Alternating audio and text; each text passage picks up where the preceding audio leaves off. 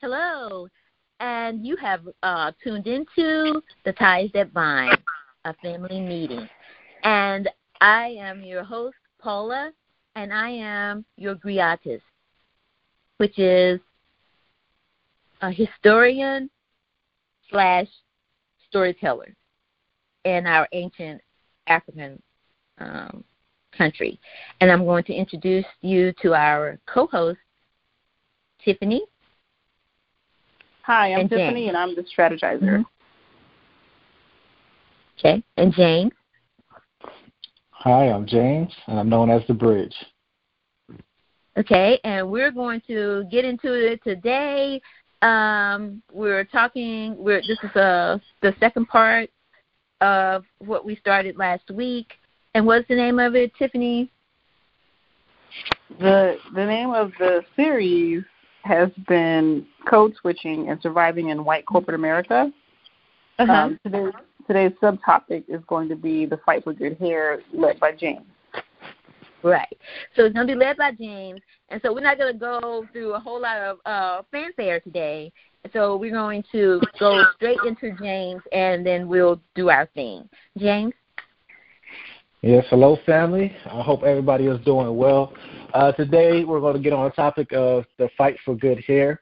Uh, like Tiffany was saying earlier, we were discussing uh, things like code switching and, and, of course, surviving in white corporate America and how people had to change, like literally either physically, uh, internally, change who they are in order to survive in the uh, specific environment that they were in at that time.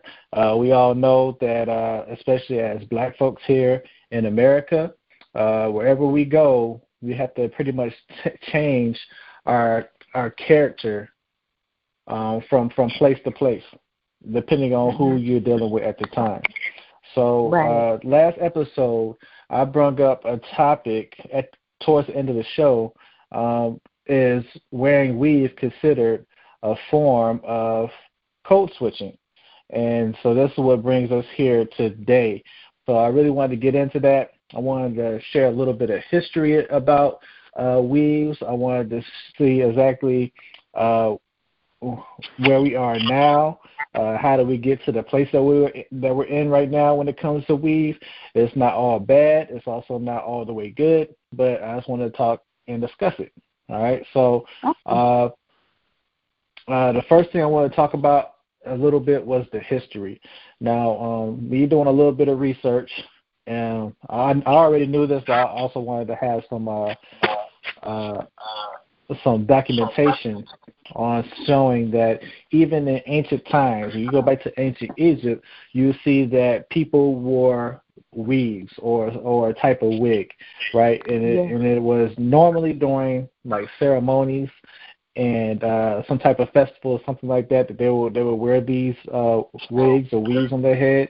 But I also want people to know that this wasn't a trend that started here in America.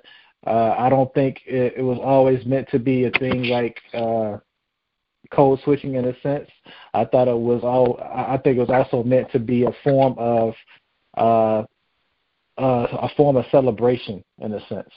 So I wanted to go over that, uh, and I did send a link out to our other uh, hosts and, our, and the other co-hosts. I want to know: Did you get a chance to watch that link, and what did you think about that? Uh, which link are you talking? Because we shared quite a few links. Yeah, I, I put the link on the actual page on the, our shared page that we have here on the side, He's talking about the Um, the the YouTube video. Uh-huh. from from uh from Africa. I think he's talking about Tiffany. I know he's talking about. Oh, okay. Yeah,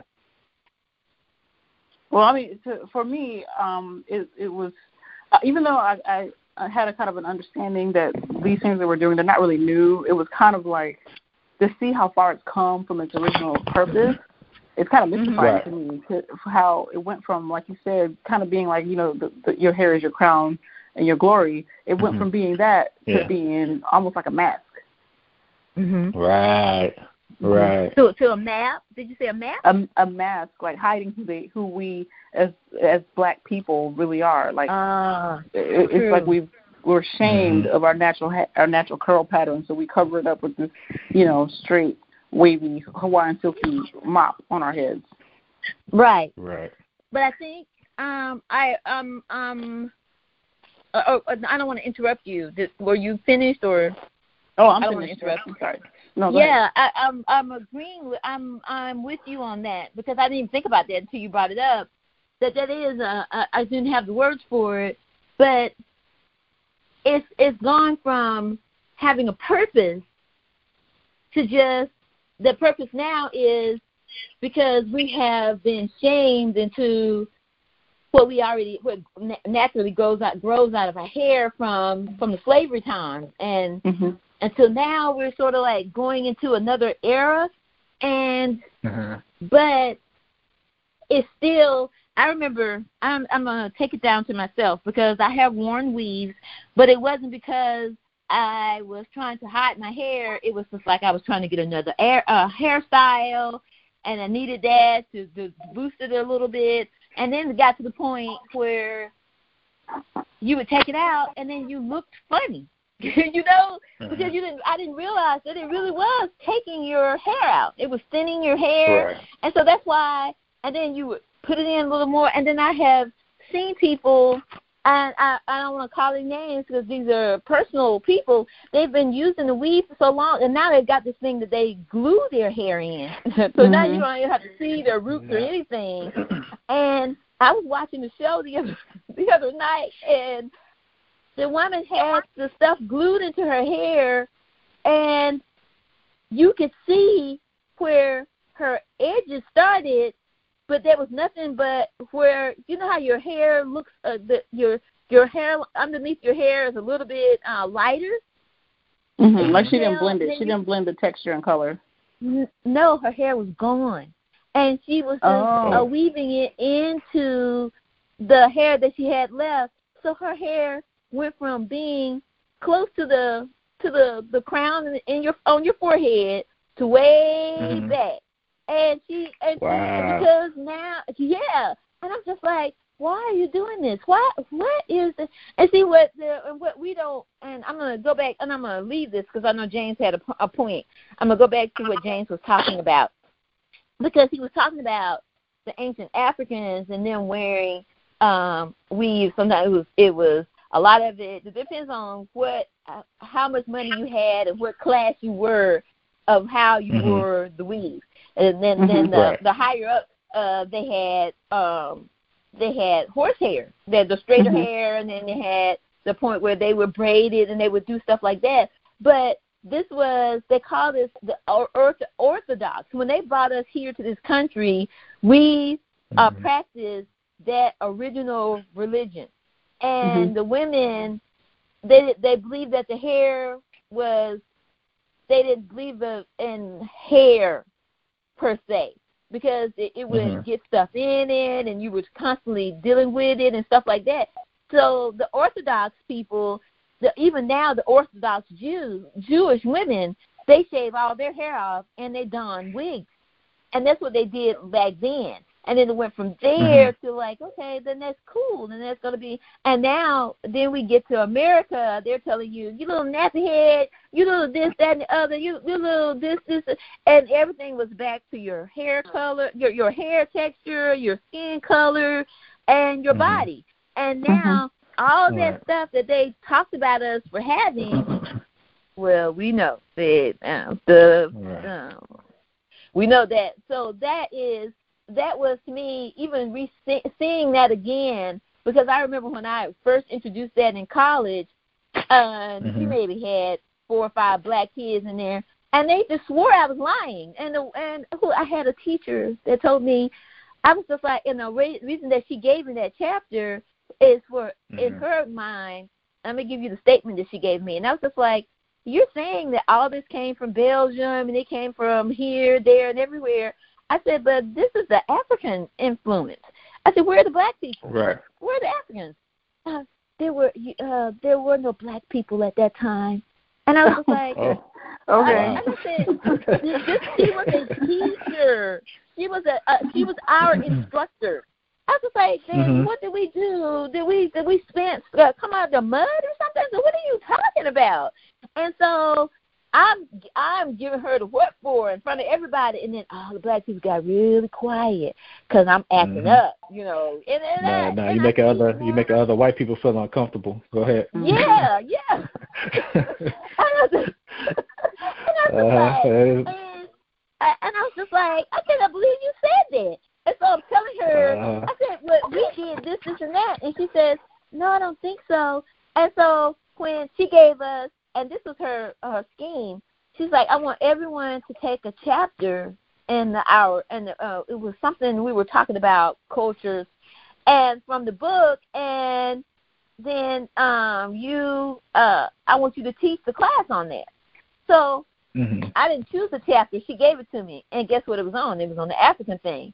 So you Mhm. know we had a house full of books and encyclopedias, and so that's what I did. I went home and I researched and I did everything. I even brought the book with me because you had to go, you had to cite um, where you got it from, you know, da da da da, to to make sure that what you did it was it was actual and factual.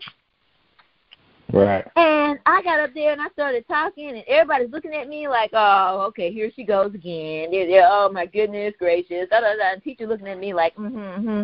Then when I started telling her about the the the Nubians and the what who who they have now, Wonder Woman is this now. What what is she supposed to be? Amazon, But this was Amazonians, Amazon. Mhm. Yes, uh, yes. Uh, They called it something else, Mhm. and then it was a it was a whole tribe of women who who were in charge, and they had their and they Mhm. had it, and I and they was she was looking at me like, and I cited everything what I got it from. I got it from magazines. I got, and she was like with her mouth agape. You know how they do that thing Right. with their uh, bottom lip tucked in and the teeth sticking over. And I, I was just like, okay, okay, what is it? And then uh, now the four little black people we had in the class um, to come to me later whisper, I didn't know that, and I was just like, okay, read, okay. Uh, I remember thinking, I, I just turned into my dad. Read it for Right. yourself. I gave y'all, Mhm. you know. It's just, and that's why he made us read, and that's why he told us don't ask me what it means. Go and read it and figure, it and come back and tell me what it means. If you can't say Right. and you don't, and even now, what they used to do then, they don't do it anymore. But um, I'm going off the, the off the script. But that is what I'm talking about. That is where that's how we got that. That's how we got. We started now. We see, but we still don't see. Like Tiffany said, we Right. still we still wearing it as a mask. And so uh, I'm gonna turn it back over to you, Jen. right. Okay, so uh, yeah, spe- and speaking of that, because I think knowledge is, is is one of the keys that we definitely need to hold on to and uh, to to Uh-huh. open the doors that we need to understand why we do certain things. So you know, g- coming up, you know, this is behavior that was taught all the way from slavery, right? Yeah. um, even up even up to current times. You know, I remember uh, some some of the older ladies in my life, whether it was my mom or I never I don't know if I really seen my grandmother say too much about it. But you know, she always talk about naps and cocoa buds, and you know those Mhm. those are BDBs. You know, Yeah. these Yeah. are all names for uh for for nappy hair, and you know, and I think uh, yeah, Yeah, nap- He yeah, said uh, BDB. He was, he B having to nice to Bs, you. yep. He said BDB. He was talking about BDB. uh-huh. Uh-huh. And, and you know, these are words that we hear, and you just kind of when you hear stuff like that, it, it makes you feel uncomfortable with your hair. So Right, I right. mean, w- with your you guys growing up, and I'll start with Tiffany. Uh, how did how did you feel about your own hair um, coming up, and what were you told about your hair? Because I know recently you've been going natural for for how many years now? Uh, eight years now. Eight years now. So Mhm. Wow. so eight years now you've been going natural, but before Mhm. that, before that change of going natural, I mean, just kind of walk me through it. What what was you what were you going through as far Mhm. as your your hair was concerned, and what brought you to the place where you're like, okay, I want to go natural. Okay, so first of all, I really hate the term "go natural" because it- it's, Mhm. it's to me it feels like you're going to a place where you're not already at. So for Right. me, it, I consider it a return to natural, and maybe it's just semantics, Okay. but it just does something to me when I hear some people say "go natural" because it's, I'm already, Right. I I was already natural. What I was doing was unnatural, you know. I I, I but Right. I digress from that. So Um, mm-hmm. one of my earliest memories, one of my earliest hair memories. There's a couple, but this is the one that stands out. This is the one that I still have pain from. So my mom mm-hmm. used to take me to this hairdresser. Um, I can't remember his name, but she took me to him for a few years. And there was something. I think he was combing my hair too rough, and he was hurting me, and I was crying. And she mm-hmm. was telling him, you know, you don't have to comb her hair so hard. And he was like, no, I do because she has bad hair. And that has stuck with oh. me until until uh, probably until like ten years ago, maybe even maybe even more recent than that. That I finally was able to let the, the pain go from that because really? I was like seven or eight. I was little. I was not like a teenager. Yeah. I was a little kid. And he said that to right. me, and it's like I could feel the heat on my neck because I was so embarrassed when he said it. Right. And I I believe that. And you know, my whole life, my mom, when I was a little girl, like three, I had a, a jerry curl, and then from there, my uh, my hair was in relaxers, and then when my hair fell out, I had little weave ponytails all the time, and it's like my hair never got past a certain length, like really like past my chin. Really, it never got any longer than that. Um, right. It would always look cute when I got my relaxer, and then two weeks later, after the first time I got wet, it would just be a, a mess. Right. Um, and but I didn't know any better because this is just what it was for for little black girls. I mean, we had a few girls who um maybe when I say a few, I mean like one or two that had never had a relaxer, and you know they always had long, pretty hair. But I always thought, and I was always told told that it was because they were mixed. Mm. Or they had Indian in them, or something like that. Because we grew up, oh, the way we grew up, everything was black and white. Everything was black and white. Right. So it was yeah, almost right. like the other races didn't exist. Um, mm. Every all of our issues, all everything went back to black and white. Um, so mm-hmm. whenever I was, saw a little girl that was brown like me, with long hair, then it was because she's you know she's mixed. She got a white parent or a white grandparent. Mm-hmm. Um, oh wow. So yeah. I had a lot of. I was always uncomfortable about my hair because it always was a mess. I mean, it looked mm-hmm. the way. What, what it looked the way that it looked was typical for girls that I went to school with. You know, we were all putting the same crap in our hair, and we were all getting the same result for the most part. So it was right. typical, but I always was ashamed of how I looked. when it mm-hmm. came to my hair. and then as right. I started getting older and I started doing my hair on my own, then I started buying my own weaves and like making my own weaves, you know, doing what I could to conform to what I was taught was pretty. Right. Which right. was loose curls or straight hair, um, or keeping mm-hmm. it in braids so that people wouldn't see your BBs, cuckabugs. That's the one. That's the one I always hear. Cuckabugs. it makes my skin crawl to, to think that people, the people said those things to me. Um, so right. that's yeah. what I did all the way all the way through my 20s. So what when that changed for me, um, I actually deployed to Afghanistan. Everyone knows I'm in the military, and mm-hmm. while I was there, first of all, I had a whole suitcase dedicated to just hair hair products because taking care of black hair is a lot of work. It's a lot of work. It requires tools. There's equipment. Mm-hmm. There's chemicals. Like mm-hmm. there's all kinds of stuff that, that are, that's required to try to keep it you know, somewhat reasonably decent looking. Um, yeah, straight. They were like straight, you know, looking nice. well, I get there, not realizing the environment that I'm going to be in. The water was had so so many chemicals in it that you could just smell the chemicals in the water. And within mm. three weeks of me being there, most of my hair was gone. It broke off. Oh my god! So, wow. I was just doing everything that I could. Like I was doing, you know, staying up all night when I should have been sleeping, putting braids in, just so I wouldn't have to be ashamed of the way that I looked. Right. Um, right. And I, I couldn't wait to get home so that I could, you know, try to re- recover my hair because it was gone. Like when I left, I had chin length hair. When I got back, I had some patches that were chin length, some patches that were just snap long, snap short. Yeah. Yeah. Um, through the time that I was there, our situation kind of improved. We got some better quality water. So I actually did regrow some hair while I was gone, but it still was in terrible mm-hmm. shape when I got back. Right. So fast forward, I left in um, November, so I came back in November. Flash forward to that November coming home. I'm mm-hmm. trying to, you know, I'm back in the world now, trying to get my hair to do something, but it was so badly damaged that nothing that I did would make it look nice. Like I, there was nothing I could do. And mm-hmm. literally, I was crying. I was in a fit of desperation. I literally took my husband's clippers and I shaved my entire head. Oh wow. There was no wow. transition. There was no, you know, thought process. I had no idea about people going, quote unquote, going natural. I, it, yeah, the whole yeah. phenomenon was lost on me at that moment. It was just an act of desperation because I was just exasperated right. with what I, with, with the damage that had been done to my hair. Right. And I was I when I tell you I never felt so free in my life. I kept my head shaved for like six months. I wore wigs because I was ashamed of my BBs and I was ashamed of my cuckabugs and I was ashamed of my boyish face because I looked just like my brother. So I wore wigs. but underneath that, you know, as soon as I walked through the door, that wig came off and I threw it in the corner and I would just rock my bald head at home behind my closed doors. Um, right. Right. And it was very freeing, and I, I learned so much about how much of my identity was wrapped up in my hair. Um, and I'm usually not this much of a talker, but this is like a, a, a subject that I I don't really talk about it a lot unless somebody unless yeah. people ask me. Um, but mm-hmm. there was a mm-hmm. lot of growth that happened. So you know, I spent six right. months. But the first thing that I noticed, and I, let me know if I go too long. First thing that I noticed no, no. was how the how terrible the condition of my scalp was. I mean, oh, my wow. scalp, I had like psoriasis, I had bald patches, like it was my scalp was in terrible shape, and you would never know it until you right. cut your hair, until you shave your head. You don't see how bad the, the condition was. So that was wow. my first goal was to just get my my scalp healthy. And I spent mm-hmm. six months just babying my scalp. I kept my hair cut low.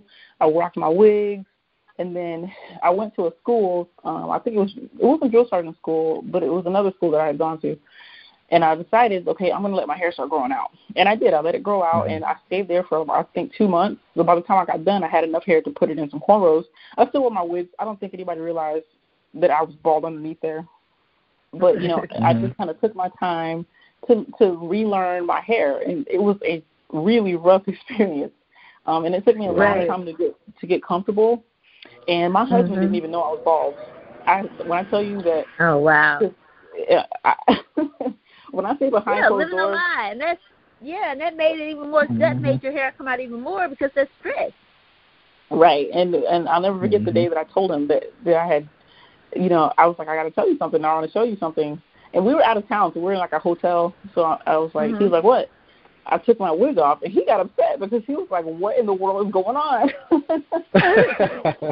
I'm not a very drastic, I'm not a very drastic person, so I don't do stuff. You know, I don't just be doing stuff. And when I do things, it's a little bit more methodical than that. So he was just like, right. I, can't believe, I can't believe you did this. Like, you didn't even talk to me. Like, what what happened? Like, what what did you do? I'm like, I cut off my hair with your clippers while you were gone. so, oh my um, god yeah, it, it's been a it's been a wonderful journey, and, and yeah, I'm very proud yeah. of my hair the way it is now. I'm not uncomfortable with my with my cuckabugs. I feel them, you know, right. put my hand back there and I feel them, and I'm not ashamed of them. I don't care who sees them. Right. I'm I'm I will never go back. Right. Right. Right. I, I'm, I think that's important. You know, that's yeah, and see, that's you growing into yourself, and see, and mm-hmm. you had the you had the ability mentally to say something's wrong and mm-hmm. I need to fix this. But see, the women that I have, uh, even some in my family, they, you'll never, they they will glue into their scalp before mm-hmm. they will let you see anything like that. Before, I mean, I don't. I'm not saying you go out there, you go raggedy, like you said, you go and you buy a wig, but in the meantime, you start taking care of your hair because mm-hmm. really that's telling yeah. you what it's doing to your hair is doing to your body as well. Mm-hmm. You know, mm-hmm. and so a lot of stress, and so I am that um I see that as uh uh spiritual growth. You know, mm-hmm. because you you have been able to allow that to put that to the wayside, and then you can grow in other areas. It's just like I had to let Jeffrey go in order to open up myself for other opportunities to go to find another uh, a guy. And and mm-hmm. I'm looking for specifics. I ain't looking for just any kind, but you know, you were looking for something specific. You were looking for you, mm-hmm. and I love right. it. Yeah. Right. Yeah, I think that's that's real important um, mm-hmm. just finally just letting go because it, it sounded like mm-hmm. it was a huge burden, you know, yes. to try to keep up with all these different hairstyles. I mean, still, you, I'm I'm sure you have to deal with different hairstyles now. Uh, because you you have a lot of hair right now that, that I know that you gotta you gotta kind of work your way through and figure out what you want and stuff like that. But you know, mm-hmm. it's the fact that you know that it's that it's yours Uh, Mm-hmm. You're doing it yourself. Like uh, for me, um, and I and I grew my I've been growing my hair out for the last about two and a half years now. Mhm. And uh, for me, I, I I grew my hair out because I would find barbers, and then in this area, I would Mm. find barbers, and then they would end up. Well, I did it for two reasons. I, one was I would find barbers, and then they end up either too hard to reach, Mhm. or Mhm. they end up leaving their shop and going somewhere else that was way too far out the way from me. And I got tired of dealing with that. Uh, Right, the, right. The second, the the second reason I grew out my hair is because this is something that I always wanted to do. I always wanted to grow my hair out.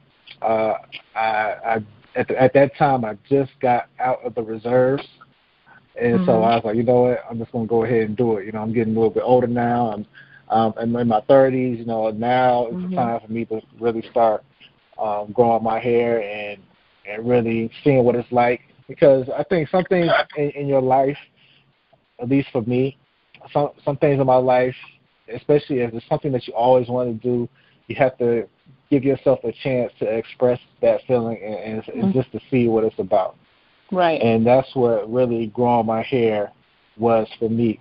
It was really expressing myself, being doing something that I that I really wanted to do, and and I love. I mean, I love having my hair now. I mean, I really do like it, Mhm. and Mhm. uh, Right. you know, Because you love yourself. right, You know? right, right, Yeah. right. But I mean, but even now, spiritual growth, huh? Yeah, it is. It is. I mean, even now, especially for people around my age, especially for men uh, around my age, you know, you don't see too much guys really growing their hair. You see, I see right now. I see a lot more guys that are bald, you know, Mhm. or, Right. or really, Right. really short cuts.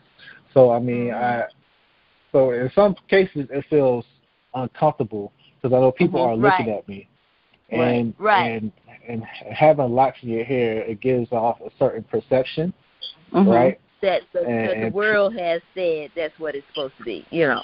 Right, That's- right. It's yeah. a world, but but you st- but I still know this.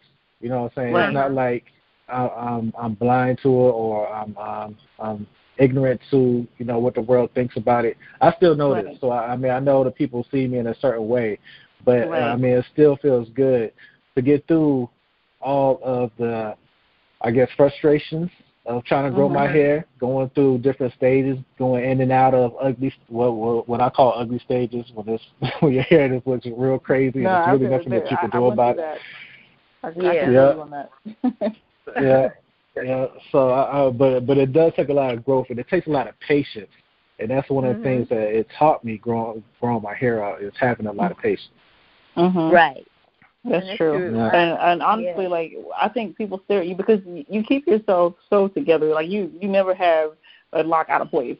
You know, it, Right. it, it's obvious you take a lot of pride in it. You take a lot of time, Mhm. and I think that gets a lot of Mhm. attention too. So I think that a lot of attention that you get, I'm sure some of that is people, you know, looking at your nonconformity. But I think there's also people who really see the beauty and the amount of work and time that you put into it because it's obvious when you see it. Because you, it's No, obvious. thank I mean, it's beautiful. I'll be I'll be to do the the Caucasian thing. Like, can I touch it? yeah, I want everybody to know that you really did that too in the car. Like, okay, I touch your I hair. did. I I see was what it feels like. Look, I'm sorry. I'm about to do the Becky thing. Can I please touch your hair? I mean, but that's that, I mean that's true though. It, it I think is when I saw him because at first I think the ugly stage was when you were twist doing them twists. And I'm Mhm. just like, okay, that I sort of like it, but you need to shape it up. You know, it's when I come to Maryland, and Mhm. but I think that was a a stage because it had to be something on the inside of you saying because you've always wanted to grow your hair out, and then somebody would say you don't need to do that because what the world, because uh, what the Caucasian uh, community, let's just uh, be real, are saying Mhm. about people with locks and with people with uh, well they call them threads and all that kind of stuff, but Right. but when you see these people, they're more comfortable with themselves than the ones who are going to shave their hair every every uh and to get it shaved and shaped up. And you know, you can shape it up, you can make it look good, but you don't have Mhm. to Right. try to make try to I need to put a scarf on my hair to do so I can get some waves. I want some waves. That's 'cause so you can have good hair. You know what Right, I'm because saying? Right. because you're feeding Yeah. into that self hatred. Yeah, you Mhm. keep exactly, and that And you know, keeps you. I didn't realize- Go ahead. I was gonna say I didn't realize how much of that I had until I didn't Mhm. have it anymore. Because like I said, I didn't Right. see a lot of women now they transition, you know, they they let their relaxed hair grow to a certain length and then when they cut their hair then it's not such a drastic change. I didn't have that. It was it was like noble this is who you are now. and so Right. there was a lot of adju- a lot of really quick adjustments that I had to make and a lot Mhm. of realizations that I had to make about myself and my opinions about my hair, my identity, and black women in general. Because I had a lot of baggage that was on me that was tied up in my Right. my nappy roots. I had a lot of baggage. Um, Right. and it Stop took a long saying time nappy. to. Well, no, I'm saying it as a figure of speech. You know, I'm saying it as Oh, a figure of okay. speech. Because uh, honestly, the, my hair's not nappy. It's just really tightly coiled. You know. Yeah. Right. And I, and I and I understand that, but it, at the time, But I just doing- I had the language. I only had the language that I was given. Yeah, you Right, can do anything right. with it. But you can say that, but then we had nieces and nephews who had what everybody thought was the the perfect hair, and they had issues. It you could never in this society, in this Caucasian society, you you they don't ever want you to be comfortable. It, it's the mere fact that you have melanin in your skin. They're gonna find something. And I remember, uh, Mhm. who was it? Uh, Madison. She was telling me something, and uh, she had come to Dallas to stay with me. Uh, Dad had gone. Uh, he was in Iraq or somewhere, and I forget what country. So I'm saying or somewhere. Uh, but I'm saying uh, my whole goal is to say that they were there with me for a summer, and uh, she was going through something, and she said, because see, my hair is not straight because she has. I call my brother is, and I will tell him this. I'm not telling you something I haven't told him from the beginning. He has the United Nations of the family. He had the Asian child, he had the black child, he had the white child, and uh, uh, Ma- uh not Maddie, what not Maddie? Oh, what's her name? Oh my God, she was blonde hair, blue eyed. You know who I'm talking about? I can't think of her name right Oh, now. You talking about She Allison? was Allie. Allison. Allison was the quintessential white girl and everything. I mean, but she was so it she never had that um that hang up because she grew up around so many different people and I, I Right. always tell uh Kim, Mhm. you need to keep them like this. Don't let the world uh, uh the, the, the decide who is what they are. You know, just this is this is this is a blessing. You you don't know what this is, but I was talking to Madison, and I don't want to get off to what I was trying to say, and she was just like, well, you know, my hair is not straight, and I can't. I was just like, I said, you have, and she had a head full of beautiful black hair, and I was just Mhm. like. Madison, um, you got you have a head full of beautiful hair. I said, What are you talking about? And she didn't know. And so what I did was I said, Your hair can be straight, it can be curly. I said, and you don't have to do anything to it. I mean, not really. I said, you can do what you want to do with your hair. And so we were talking about Mhm. talking about it. And so I would always flat iron my hair when I went somewhere because I was trying to be um oh, what do you call it? I was trying to fit into the Caucasian what they felt was a you The trying to fit standard, into beauty standard. the, the Mhm. standard, Yep. you know. Yep. But I would always flat iron my hair, and sometimes I would braid Mhm. it up, or you know, I would do whatever. So I flat ironed her hair. I was just like, now, I haven't put chemicals in your hair. I haven't put anything in your hair. I said, now, what are you gonna say? I said, what do you what do you think now? I said, you can go from curly to straight without killing your without. And she, it was just like a whole world change. But she still had that thing, Mhm. that stigma of being a black girl with curly hair that it really it curled up. But then when Mhm. Right. uh Allie and Zanita came, I remember they came down to uh Maryland and they stayed with me for for, for a bit. And so I, we didn't we didn't grow up in we didn't grow up the Caucasians grew up with their hair just all over their heads. Black people don't do that. You know, because I remember my grandmother said, if your hair is loose all over your head, that's where your mind is too. You need to. And so they came over Mhm. and I was I put um oh what do they call it uh it was a braid but it was like uh what do they call it? not a corn cornrow but it was they call it uh whatever they call it I put two on Madison's hair and I was just like uh come on um Zanita and I'm just like how am I going to do this because her hair was a bone straight so I Mhm. Mhm. I sprayed it, and I put t- uh, they had the same. I put the two same braids in their hair, her hair. I said, Allie, come on, what are you gonna do? I was just like, you're not gonna be walking around here with your hair just loose like this. I said, you're not a grown woman. I said, you're a child. I said, yeah, I said, uh, Madison's got her hair done, and Zanita's got. You're gonna do yours too. So I Mhm. sprayed it down because I knew that it wasn't gonna stay. So I sprayed it down with some water. I braided it up, and she would turn into a totally different child. Madison turned into a totally different child. And so they all went Right. where where we had to go. We would get in the car, we would go somewhere, and, and people would look at me, and they were just because they were saying, "Auntie, hey Aunt Paula, can we do this?" For? And I was just like, and they were just like, "That's your aunt." And they're looking at Zanita, and they're looking at Allie, and they're looking at uh they knew that probably um uh, Madison was could possibly be mine, but then you got the blonde hair, blue eyed girl, and then you got the Asian girl, and I'm just like, oh my god! But I didn't I didn't treat them any different, and that's Mhm, where the mhm. world in a perfect world that's the way it should be, but it's not. But if you don't teach them this thing, and my goal with Tiffany when Tiffany would come I stopped. I was just like, I don't want to put this. In. I don't want her to think that weave is the way to go. So I started Mhm. doing little things in her hair, and then she would get the mirror and she would look at it. Oh, I, I said, which one? You like that? I said, you want me, or you want me to do it another way?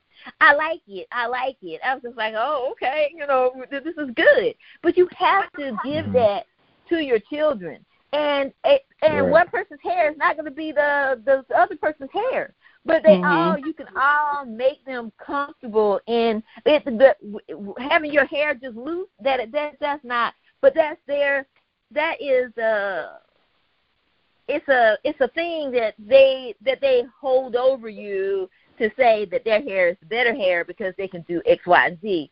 But then if you're gonna say that, then I don't get life. So uh, what are you Well, say that's not true. that? Black people, black people Yeah, can't get some life. people- That's a mis- common What- misconception. But black have people, you ever black seen people, a black person with life? Real Yes. serious. Who? I mean, you want me to give their name? I'm not going to put people out like No, you don't get a name, but where were they? Were they living here? on Earth. Yes. black people, black people get life. They get life. All right. Um, I mean, I mean, I mean, at, I mean, at the top of the, I mean, at, when when it comes down to it, um, people. I mean, there are cases where people try to make black people feel uncomfortable about their Yeah. hair, which that that, Right. that is that is true.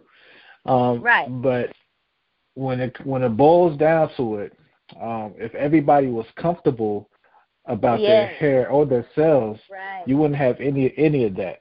You see what I'm Mhm. saying? Right. Exactly. So, yeah. So I, I think that the main. Yeah, and I think that's what you're trying to say. Your main goal was to help everybody be comfortable with themselves, and on top Right. of that, be comfortable with each other and, and Right. their differences that they clearly have, but they might not Mhm. understand. You know, Yeah, because they're so young, but they they know that there's a difference, though. You know. Exactly. Exactly. And then you'll have people around you who will make that that change. But if you give them the answers that they need to have, then they won't. They won't. Uh, they, they'll have something back for you. I remember they would always say, "Oh, you're such a pretty girl. You have such beautiful hair. You so this." And I'm just like, and I can read too. You know, I I can spell and I can do. It, it, it's just more to me than you keep uh, talking about my freaking hair. But it was Mhm. and I'm not telling you they said it was good. I didn't think it was no good hair. And I watched Mhm. it one time. That's how I knew it wasn't good hair. Uh but I watched Mhm. it and I got tired of combing it and I was just like, Oh, I'll just lay down and I'll get up in the morning and I'll do what I need to do and it was not that that didn't happen. I was to get that comb, and I couldn't get because my hair was very, very thick, it was very very long, but it was very very thick, and then you go lay on it, and then it's getting tangled up, and it's doing all this stuff. And my mom was, mm-hmm. and I don't, you all don't remember, but my mother used to be in the hospital all the time.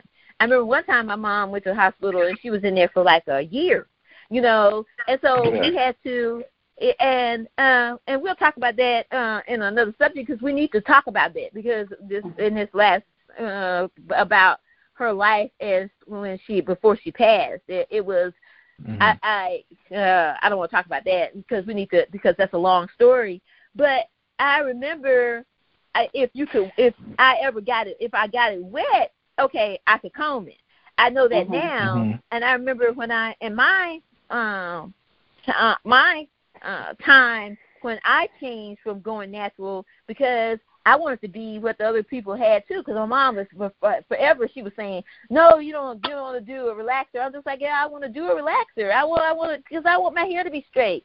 It was never doing nothing but mm-hmm. taking your hair out. And so right.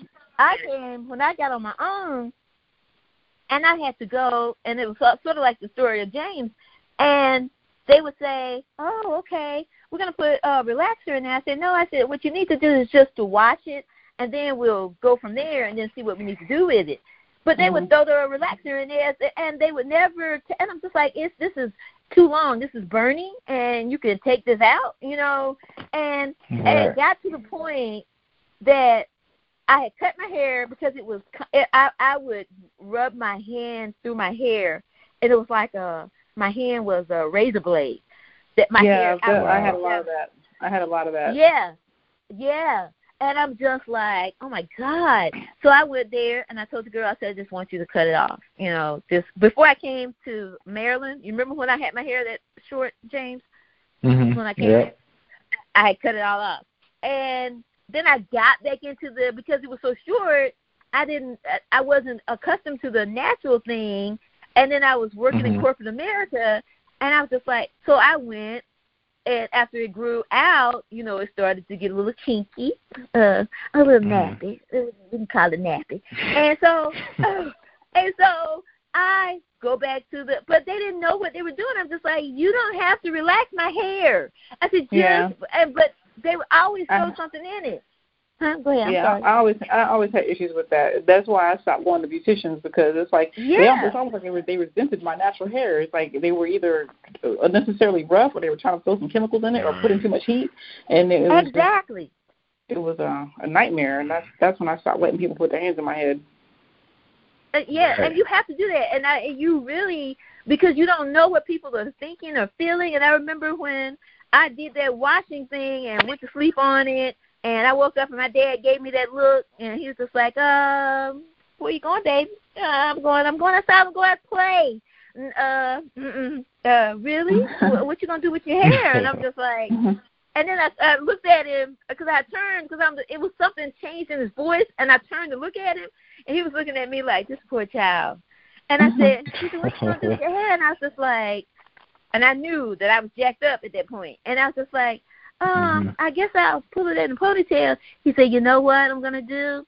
I'm gonna call your aunt Rose, and I'm gonna send you down there for her to um they said, and for people who don't know what we did, what the white people did, they literally put an iron to their hair to do because they would go and get it curled, and then to get it mm-hmm. straight, mm-hmm. they literally put a uh, because the curls gave them more body, and so but we went down there and Rose, oh my God, oh my, and I'm tenderheaded, and and I, for mm-hmm. those who don't know what that means, what black people do, I was I was very sensitive. My scalp was very sensitive. Hey Rose, uh, slap that grease up in my head. and she threw that hot comb in there. I was like, oh my God. Yeah, I was like, ooh. That's your girl. Uh-huh. I said I can hear it popping. I can hear the grease popping. yes. And I was like, she's like, girl, this, this, uh, that, that ain't, that, that's not, that's not this, uh, hot comb. I say, burning rose, you burning me. That's not this, this straight iron. It's, it's the, it's that green, it's the, she said it was. I was like, no, Either way, I, I just understood that. My mom used to do that to me, and I'm like, it doesn't matter if it's the hot comb or the grease. It's still 4,000 degrees. It's hot. Right. exactly. and, oh my wow. God. I was like, and I got home and I was just like, Daddy was, and he smiled, and I was just like, okay. Yeah, so uh, at that point, the burns didn't feel so bad, you know. And mm. I, I think I went and I, um, what did I do? Because she straightened it. Did I put rollers right. in there? I did something. She straightened it and she left it down. My mom didn't do that, so I was just like I was feeling like a grown up. You know, I thought I went to school the next day because I had a head full of hair, and I've never worn it mm-hmm. down. They always, my mom would always braid the top and put it in a ponytail and braid it, and then she would braid the bottom, put it in a ponytail, and then she would wrap the ponytails around each other, so you never knew uh what. The, nobody never knew what my hair was like. So they were just like, right. "Is that a wig? is that a weave? And I'm just like, no. And then they started, and then the white girl, the black girl, the white people wanted to put your hands in the head, and I didn't care at that point, you know, because they just wanted to feel it. And and I'm just like, and the white, but and the black people were like, oh, you think you're white, You're Oreo, you this and the other, and I'm just like, oh my god, it was just like it was a nightmare, you know. But that yeah. our hair is is something. It it ain't nothing to play with you know, and you right. and you know you never heard you never heard about uh people washing people's feet with their hair till they got to the Greek side of the Bible and all of a sudden they were talking about the white people. You know that it was mm-hmm. that they took the black people out of the Old Testament because you knew that's what they were talking about, whether you wanted to believe it or not. And and then you wanted to be that, you know, because that that has to be, and then they're telling you that you're this, that, and the other. But it was it was a nightmare. It was a nightmare of the you trying to because all my friends were white as it was because the white people mm-hmm. would take you as you were. Uh, let me put let me call them Caucasians because uh, to me when you say white you're talking about uh, different people when you say white. But the Caucasians were the, my Caucasian friends would take me as I was. They didn't. They weren't trying to make you better. They weren't trying to make you worse. They you uh, however you came, that's what you were. So so let's so let's talk. Yeah, yeah. So let's talk about let, us talk about that a little bit. You know, because okay. um, it's almost like who are you trying to impress when it comes when it comes yeah. down to it? Because and I and I experienced the same things as as you experienced. I actually experienced right. more hatred from black people mm-hmm. in, in the way that I that I wear my hair, right, than mm-hmm. I experience it from let's say Caucasian. It's gonna stay with stay at the same time. From Caucasians, right? So mm-hmm. right. you know what I'm saying. So who who are you know when it comes down to who are we trying to impress? You know, and, and huh. why is it that why when we're trying to develop ourselves, especially within the black community, when it comes to mm-hmm. uh, our hair or, re, or reach or trying to renaturalize ourselves with our hair mm-hmm. and uh yeah you know, why do we get so much kickback? You know, because I know um, as far as I have right. I have I, an opinion on this.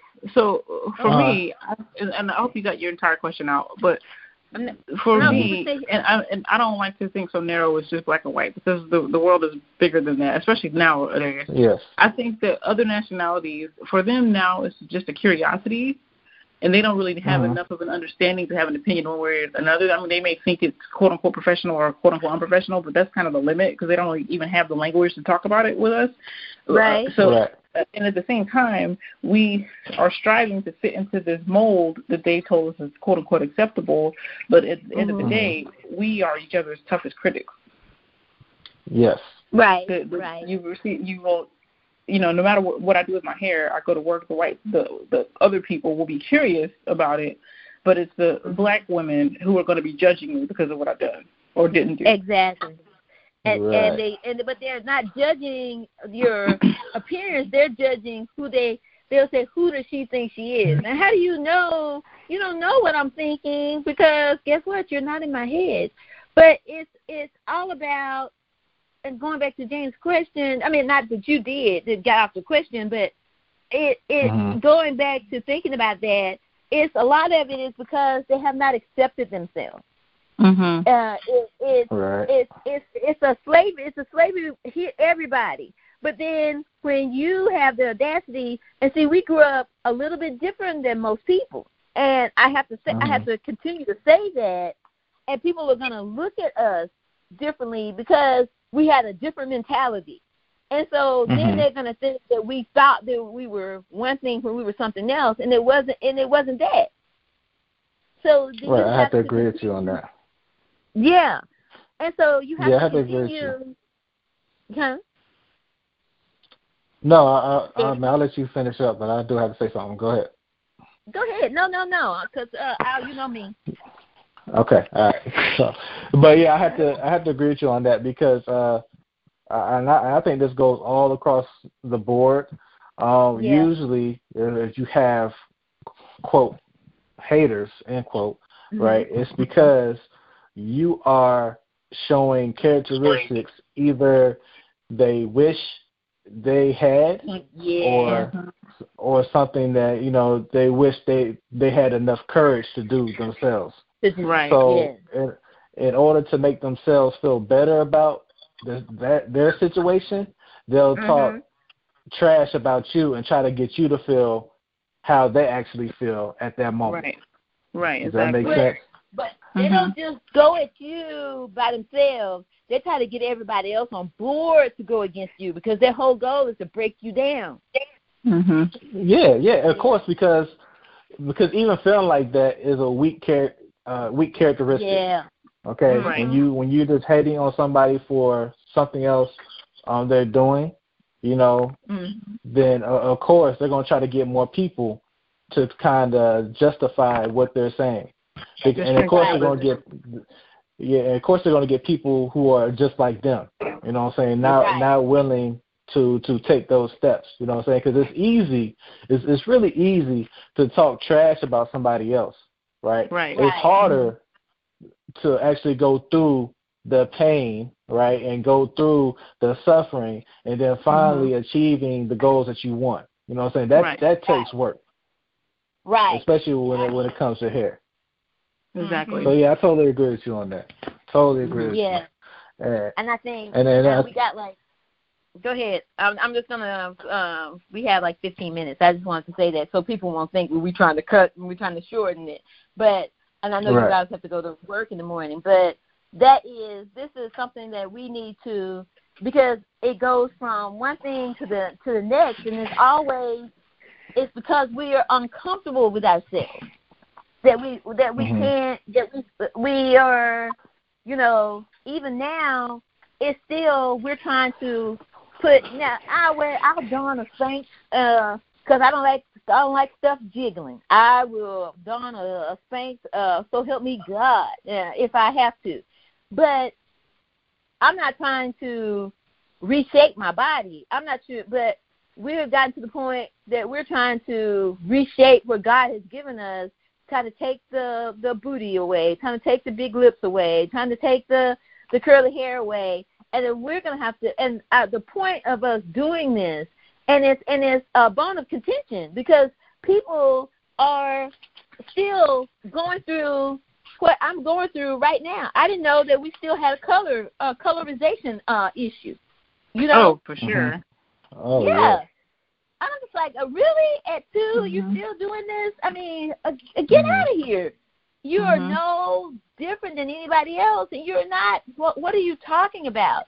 But we have to, and it's um, it's something that we. It's something on the inside of us, and it's because we don't see ourselves one on television. We don't see ourselves. We don't have um, uh, somebody around us to show us a different a different way of living that we can Right. be better. That's so important. Yes, it's very very Imagery important. imagery is very important, and it's it, and when you don't see yourself reflected, it's easy to, Yes. to feel like you don't belong, like you feel out of place because you don't see yourself. I mean, even to this day, Exactly. Now you see you know natural haired women more than before, but even Right. still, when you see the quote unquote natural hair women, there's people who naturally have loose curls. You don't see you know Mhm. the women who are dark skinned with kinky, Right. kinky hair like. You don't see that. Right. Except they, I mean, they'll Yeah. allow one or two. Like Lupita Nyong'o Right. is, you know, she's been glorified. She's a great actress. I don't want to take it away from her, but right now she's this? their one. You know, she's the one that's allowed right now. But you don't see Yeah. much more than that. Yeah, and that kind of gets onto my my. Oh, sorry. Go ahead. I know. I, I was. She said somebody, and I missed the person that she was talking about. uh, Lupita Nyong'o. Oh, okay, okay, yeah, go ahead, yeah. Yeah, yeah, and that and that kind of brings me uh to my next topic, like when Yeah. it, when it when when it comes to imagery, you know, Mhm. and when you do see um black folks on TV, you know, it's always black folks not even nowadays, they, they black folks that are walking around here unnatural. They have these Uh-huh. long blonde wigs. Like I and I and I say music videos specifically because this is mostly where I see it, and I know this is what really attracts the younger crowd is music. So you Right. uh, you see you see these women now that have long hair. They're getting all these Mhm. injections, like butt Mhm, injections, uh, lip injections, um, Mhm. Even uh, like Little Kim, which I, who I thought was a very very beautiful woman. You know, Yeah. Getting getting all monster. this. And now she doesn't Yeah, even look like a human being. Yeah. Right. She looks like a she looks more like a muppet than a person at this point. And I'm not teasing. Exactly. I, I'm not teasing, but it's her her look is so extreme that it's like outside of the realm of what looks human to me. Right. Right. Right. And I'm just like, And, what uh, are you trying to be? And I think she thinks it's Mhm. okay. And then we got. well, I mean, it's one uh, that- it, it.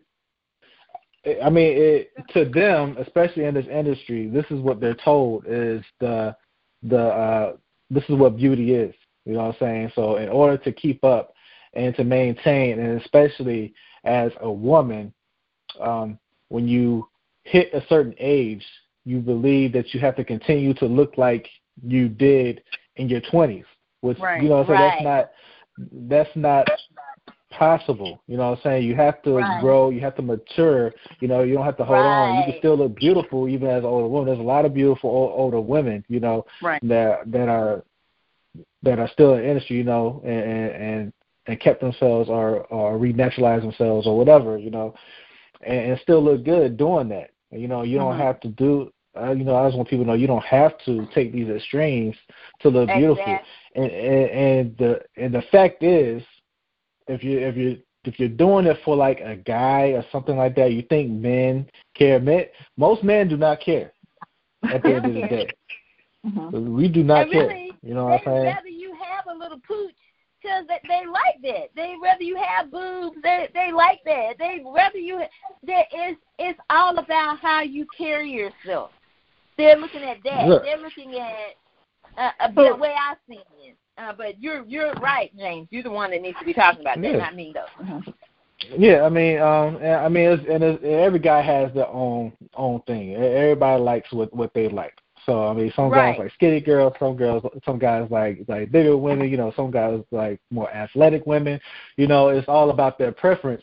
But you know, these these high standards that you put yourself through Impossible is really standards. not necessary. Yeah. It's, it's it's really impossible standards for the most part. But you know, Mm-hmm. it's really not necessary, especially if you're trying to you know keep up with some of the guys. You're hoping like yo, I hope the guys are look you know like like how I look.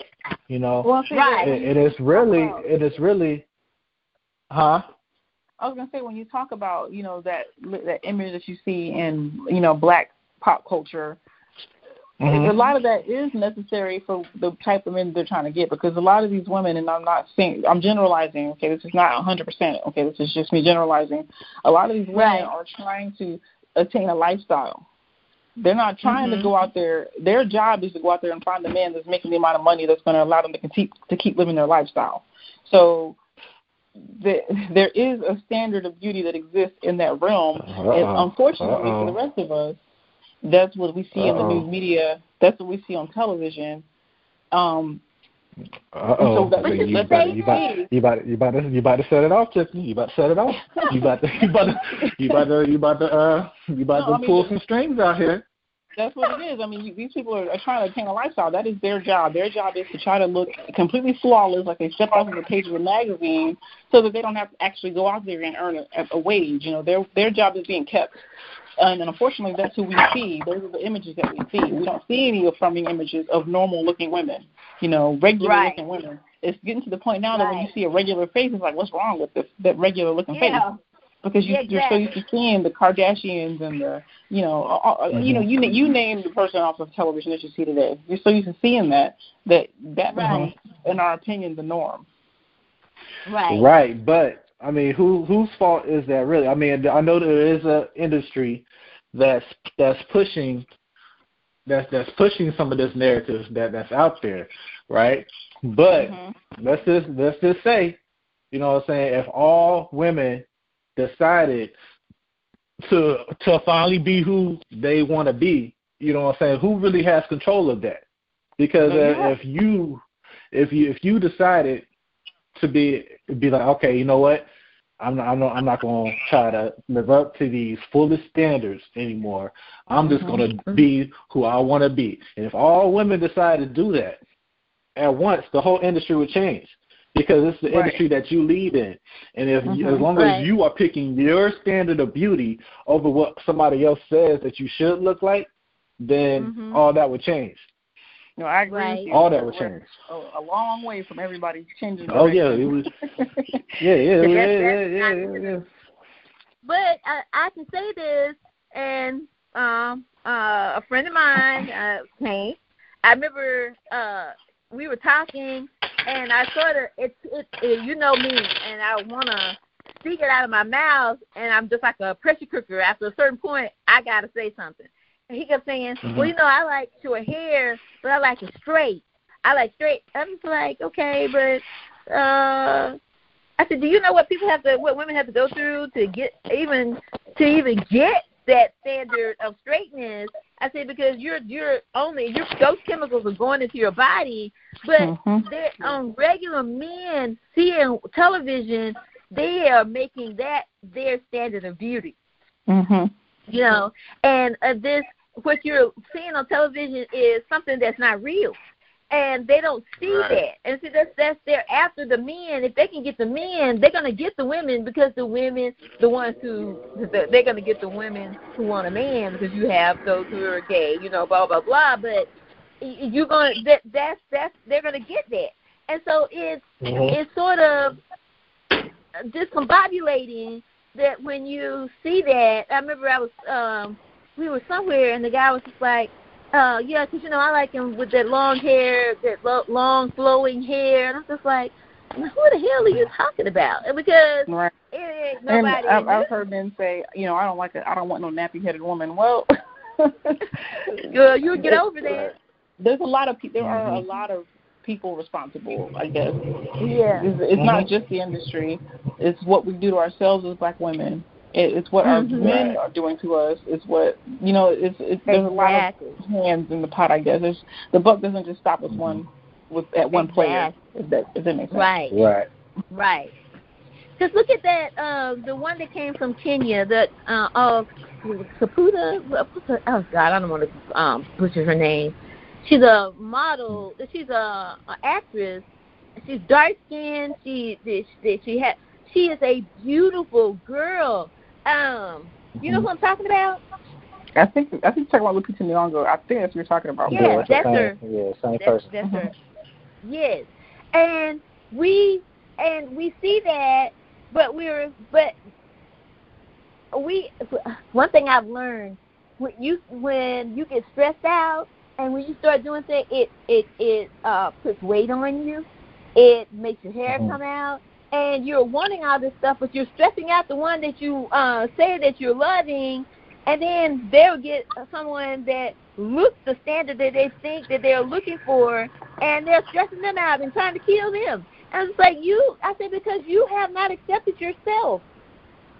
Until yeah, you and, I, and I, unfortunately, I feel that Lupita Lupita Nyong'o is she's being by the by the market. She's being fetishized. She's been exoticized. You know, they don't mm-hmm. accept other women that look like her. They accept her because she's exotic. Just like you know, for a long time in the '90s, men were white men were attracted to Asian women because that was exotic. Yeah. Mm-hmm. So they're not. She has not. She. That's why I said that they're. You know, she's their one right now. It's because men look right. at her and they look at her sexually, and but they don't mm-hmm. see her as a human being, and they don't see the millions of other women who look like her. Right. And we don't see our men like that either. Djimon Hounsou, and he is the Djimon Hounsou. Um, what's his name? The other one, he's from Africa as well. It they have they exude that that um oh what is it? When when you're confident, they they exude that confidence. because they grew up with their own people. They grew up knowing who they are, and we think we're gonna get with them and we're gonna change them. These men are hard enough. They are. You are going to conform to it, or they're not going to get with you. And it's just we have got to we have got to see the beauty of ourselves. And and, I, and I can't I can't stress that enough. It's not it's not um, looking a certain way. Right. So um, right. I agree. So yeah. Yeah. So I mean, I I, mean, I really enjoyed this topic uh, here. Yes. I think it was real informative. Um, mm-hmm. I think we had a lot of points that uh, we that we needed to hit. You know, Nope. and um, I hope I hope the message was able to get out there, and I'm and I'm sure it will. And um, yes. and on that note, I think it's about time to close it out. yes, I, I, we, uh, and I hate that. I hate we're having to leave you. We enjoyed you. This is what we do on a on a daily basis. We love to talk. Mhm. We we grew up doing this and and and uh, reasoning with each other, not just it is. Yeah, we had our stigma stigmas. You know, we had this color issue. That's just part of the thing. But in, as a, but we loved each other, and Right. that's where I want to to take out to the world is the love. It's not a Mhm. sexual love. It's just it's it's a what is it? Something that when you're oh God, when you're married to someone and you take that vow and it's you have to do it for life. That is something that you do for life. You may get mad at them, you may, but that love is always there, and Mhm. it, is, it has nothing to do with the blood link. It has to do with you making that commitment to it. And so we're going to say this and we love you. We hope you all enjoyed yourself and and we're um I'm going to turn this over to them and to end it all over, but I wanted you to know that we do on our our podcast we do have a spot that you can to get on there and say what you want to say or uh, become a part of uh, of our um, just to have something to say about it. And we're gonna we're looking at doing once a week a, a live episode. So tell us what you think. And so I'm going to turn this over to James, uh, well, to Tiffany, so she can turn it over to James, and we can say adieu. We love you, and you have a blessed night, Tiffany. Thank you, Paula. Um, actually, she said what I was going to say. We do invite you to give your opinion. Tell your story. Tell us about what took you back to natural. Um, I'm curious Mm. to hear what you have to say about that. Um, as, I, Yeah. as I mentioned last week, you can email any one of us um, by clicking on our pictures. If you go to tiesthatbind.com, uh, you can click on Mhm. any of our pictures and you can email us directly, or you can comment in, at the bottom of any of our, our videos or uh, podcasts. Just go down to the bottom, comment, leave your opinions, your point of view, your story. We love to hear from you. Thank you. Good night. James? James. Yeah, um, I'd like to end uh, end this meeting by saying um, we all go through our different trials and our different tribulations through life.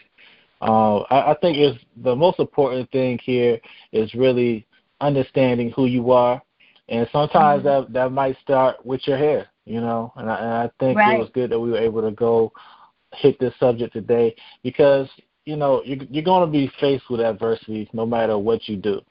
Even if you Mhm. walk in there with a, Perfect. a weave on, a wig on, you know, uh, Mm-hmm. makeup on, uh, you're going you're going to have problems regardless. Mm-hmm. But my Right. main goal is to help you figure out who you want to be.